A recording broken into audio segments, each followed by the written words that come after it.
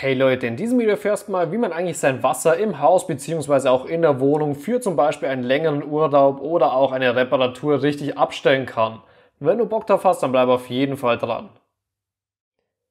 Beim klassischen Einfamilienhaus befindet sich der Hausanschluss vom Wasser entweder im Hauswirtschaftsraum oder auch wie bei mir im Keller und da ist in meinem Fall jetzt einmal die Wasserleitung, welche durch die Bodenplatte hindurch geht und anschließend auch durch das erste Absperrventil. Dieses gehört dem Wasserversorger, weswegen wir hier wirklich nur im Notfall hantieren sollten. Dann kommt unser Wasserzähler und dahinter befindet sich auch schon das Absperrventil, welches für uns einfach jetzt interessant ist.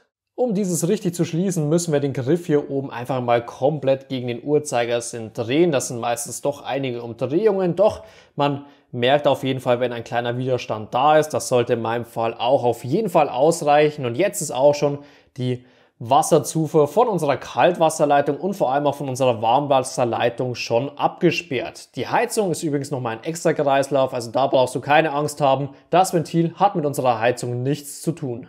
Wenn wir jetzt in kein Einfamilienhaus, sondern in einer Wohnung wohnen, dann kommt es meistens vor, dass Kaltwasser und vor allem auch Warmwasser eine separate Absperrung haben. Hier also auch wieder ganz normal im Uhrzeigersinn das Ganze komplett zudrehen und diese Ventile können sich übrigens auch bei dir im Badezimmer oder in der Küche befinden. Dann schaut das Ganze aber in einer verchromten Version doch nochmal etwas schöner aus.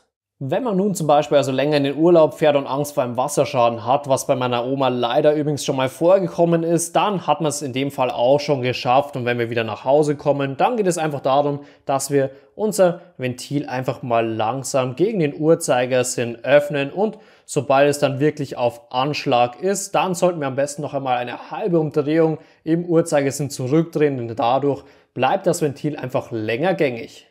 Ich würde dir auch noch empfehlen, dass du nach dem Urlaub das erste Wasser auf jeden Fall zum Gießen von irgendwelchen Pflanzen verwenden solltest, denn dann haben wir auch wieder frisches Wasser in unserer Wasserleitung drinnen. Möchten wir jedoch zum Beispiel eine Reparatur durchführen, wie in meinem Fall bei unserer Wannenarmatur, dann sollten wir, nachdem wir das Absperrventil abgesperrt haben, einmal die entsprechende Armatur mittig ganz öffnen. Wir sehen auch schon, der Druck wird auf jeden Fall weniger und sobald wirklich gar kein Wasser mehr kommt, schauen wir nochmal, ob wirklich gar kein Kaltwasser mehr kommt, gar kein Warmwasser und wir können mit unserer Reparatur beginnen. Danach das Absperrventil einfach wie nach dem Urlaub wieder ganz normal öffnen.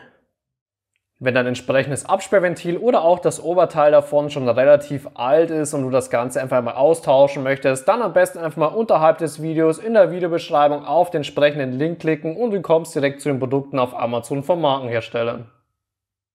Falls dir das Video gefallen und auch weitergeholfen hat, kannst du mir gerne einen Daumen nach oben geben und es einmal unter dem Video in die Kommentare reinschreiben. Außerdem kannst du meinen Kanal noch hier oben kostenlos abonnieren, um kein neues Video mehr zu verpassen.